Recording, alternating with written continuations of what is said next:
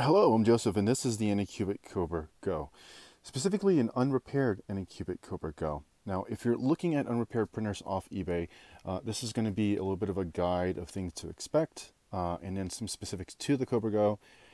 Uh, so the first thing is that you have to understand that with the unrepaired section for 3D printers is that they're usually marked as used, uh, not, and not for parts. That's an important understanding because when you buy something that is used, technically by eBay's terms, it needs to actually function.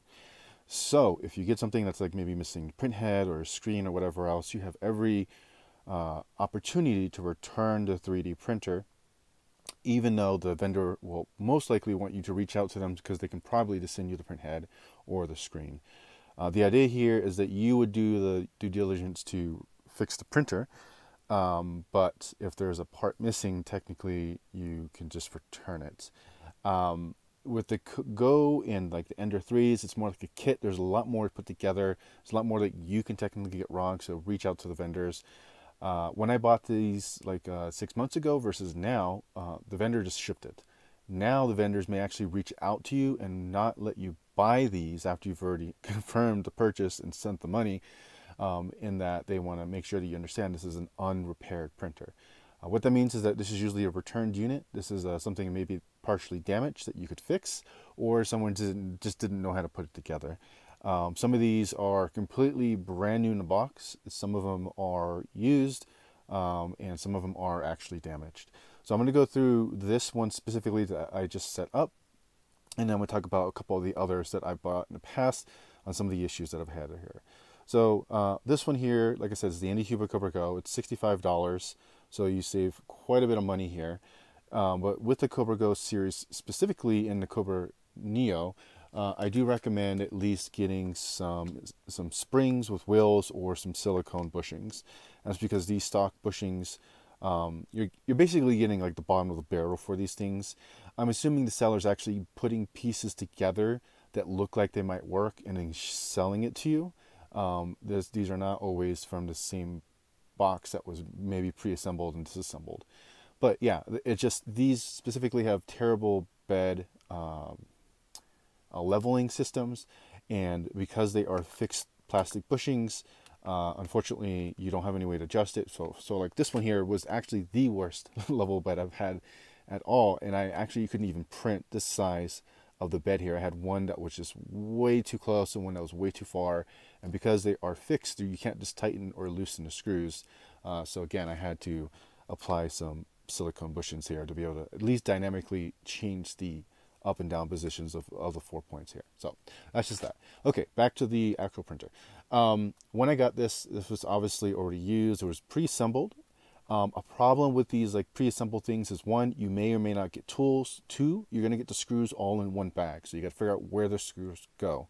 Another um, problem is because these are shipped to you, uh, sometimes they are not put back as they should be or disassembled completely, and so you may get things where you have like visual um, marring or scratches. This is fine. It you know the metal is going to get scratched as long as it's not scratched on where the V slot or the POM wheels go. Uh, you know where the inside of the metal's at you're good to go. But when you get that actual like deep scratches here that may affect your print quality so that's something to look out for. If you if you, if you get those reach out to the vendor they may be able to send you a replacement for the actual um, like metal extrusions.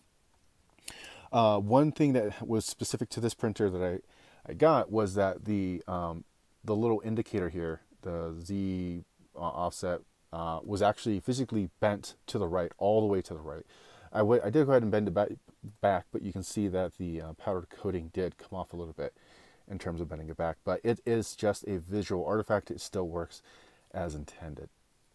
Uh, another item that I ran into was that the extruder gear uh, was actually sunken down all the way, and that meant I had to remove the plastic here to be able to get to it. And then when I flipped it upside down to make sure that the grub screws were actually on the top, this way if it does fall back down again, I have quick access to it. I don't have to, you know, disassemble this whole thing again. Uh, I put the grub screws incorrectly because there is a solid um, bit, flat bit of metal here Uh, and as there's two grub screws, one is longer than the other. So if you put one in the wrong place, you could have this um, kind of this clicking in place, trying to uh, the grub screw would actually be hitting against this plastic here. So that was just one little quick fix that I had to do. Another was actually a QA issue with this printer. Uh, the actual concentric nut, that's the thing that you tighten and loosen to the side here. Uh, this was installed in reverse. So uh, whenever you turn this, the X gantry just never tightened up. It was just completely loose all the time. So all I had to do was unscrew the little nylon nut back here, take off the POM wheel, reverse this or flip it upside down, and then you know reinstall it.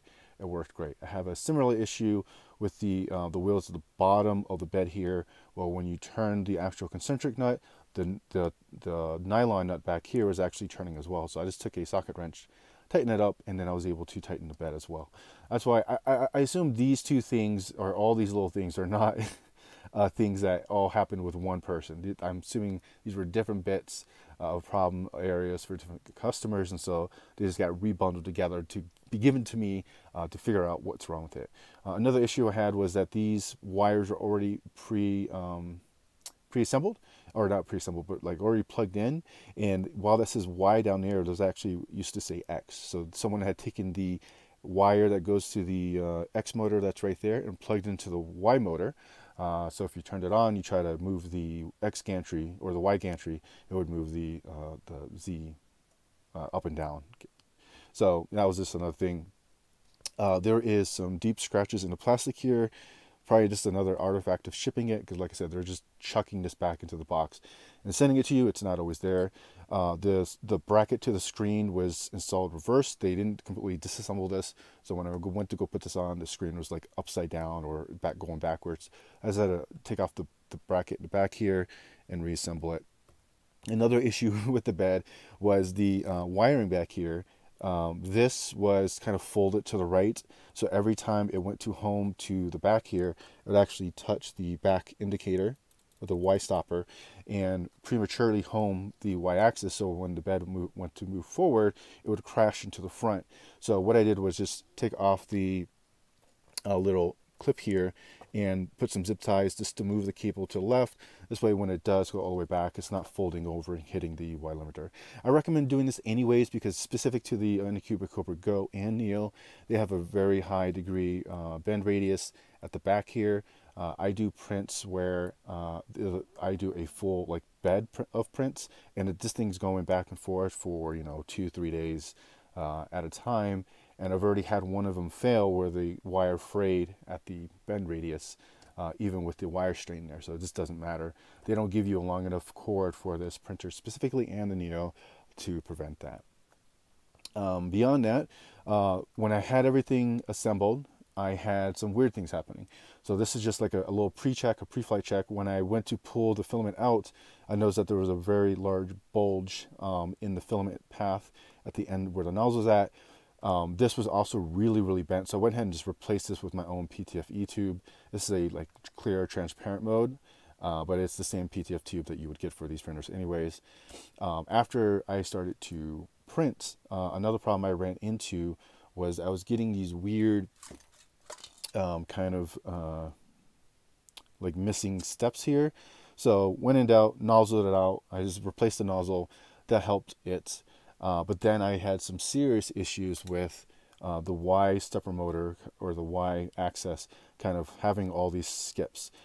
Um, I went to go ahead and tighten and loosen uh, as much as I can with these belts. This belt was apparently tightened to the max. Someone had turned this knob all the way uh, and it was completely tightened. So that was one of the reasons. But as I, you know, continue to print like this here, um, it continued to shift no matter what I did, no matter what I tightened or loosened. The shifting just never stopped. It actually came out to be something very stupid because while this didn't come with any um, tooling, it also didn't come with an SD card reader. So that's two things. Um, but it came with an SD card. I kept putting different things on there, printing different things. I did calibration cubes that would still skip and have all these like weird artifacts. And that came down to the fact that the SD card was actually bad. It wouldn't be able to write to it all the time. And when you have these power loss printers, which means that if you were unplug it and replug it back in, you can resume, it writes to the SD card. And if the SD card is bad, what happens, the X would go up, and then when it goes to fails to write, it'll just drop down. Uh, but because whatever you're printing will continue to support it, it'll basically act like the y-axis is shifting. So all I did was just swap out the SD card with my own, and it worked just fine. So all these things are things that are not very easy to diagnose. This, that took me hours and hours to figure out because I'm doing all these prints, just trying to figure out the, the, correct tension. Maybe I'm doing something wrong or configurations, and that was it. The last thing uh, that I had to do was specific to the Kobra Go and Neo, which these are set to under extrude. When you hit certain edges here, uh, you're not gonna be able to see, see this specifically, but you get this like weird um, stippling from when it gets to the next layer and that's because it's just it's under extruding. So I changed this from 103 for the extruder to 108 unfortunately this screen here does not allow you to change the e-steps so I had to connect this to a laptop go to Pronterface and do the calibration where you like spit out 100 meters or 100 millimeters measure it uh, calculate the e-steps. So it was uh, from 103 to 108 it was slightly over extruding, but I'd rather over extrude by a little bit than under extrude. And then the um, I did a calibration cube over and over and over. Uh, but basically, it's you know these things with the x, y, and z, and the y or the um, the z height was a little off, so I moved it from 400 steps to 401 e steps, and that made my calibration cube nice and fit. After all that, it's good to go. I can use this now. There was nothing technically broken or wrong. There's things that are installed incorrectly with some damaged parts that you could fix. Now, another printer that I've had was the Anycubic Kobra Neo.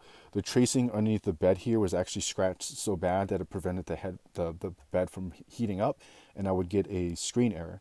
So all I had to do was um, scratch out the tracing at the bottom of this bed here and resolder in a copper tape um, that let me kind of you know continue to use it and it works just fine. I've used it for uh, hundreds and hundreds of hours of worth of prints and it's not been an issue here. Another one that i got of these of the kobra go was that it was missing like a screw here i went and replaced that. Um, others were like just partially pre-assembled. One of them was just completely brand new in the box. Uh, so your mileage would definitely vary, but you may have to do things. Uh, another one I got where the uh, Z stepper motor was just so um, bad that I had to replace it. Um, I had to replace it with my own motor, and I, maybe it's something I could reach out to the vendor with. But the amount of time it would take to contact them, reach, you know, go back and forth. I've already had stepper motors um, kind of on hand. The catch with these stepper motors is that they don't tell you the wiring guide, so you got to do like a little jumper cable set in, uh, set it up to the motherboard. keep flipping the wires around before you can figure out which wires go to what, and then um, these little pins uh, back here for these that you have. You go to the motherboard, you you know you take out one of the pins and you just like flip it around and stuff like that. It's not a it's not a big deal, but it's a very annoying thing if you don't know about what you should be doing for these 3D printers. So, is it something I recommend someone who wants to save a buck and is just getting into 3D printing? No, not at all. You should know about 3D printers if you're going to the unrepaired section of this, e, you know, of eBay for for 3D printers. But uh, if you have the patience, if you're willing to spend maybe hours or days diagnosing an issue, it'll teach you about 3D printers the process um, and you can get the, you can get some really good decent printers. The Anycubic Kobra Go and Neo are great starting points because they are cheaper than the Ender 3 and do get bed leveling. But like I said, these specifically don't have the best bed leveling systems, and so you do want to have a way to replace it because these are not using the stock anymore. And all I did for the bed leveling process was take um, something like this, uh, a wide print, and as it's printing, I would pause it, um, lift this up and just screw down or unscrew it depending on which side is too low. And then when I got something decent like this here, where it's you know fairly good first layer, uh, that's it. That's all I need to do. I can do one more bed level just to just check to make sure it's still consistent, and continue to print that way. And uh, yeah, so you can definitely save a buck in that. This was 65. The lowest I got this before was around 61, and then I got the uh, Anycubic Kobra Neo for around uh, 75. Now you can get these uh, for a little bit more, but you can also get the Ender 3s. Uh, again, it's it's up to you whether you want to take this dive down.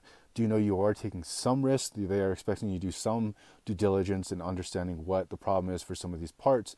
Like I said, I don't think someone's going to immediately know this concentric nut is uh, needing to be flipped or reversed, or maybe the nylon nut needs to be tightened, or any of this other stuff. So if you don't know anything about 3D printers, uh, it's going to be a really big struggle for you.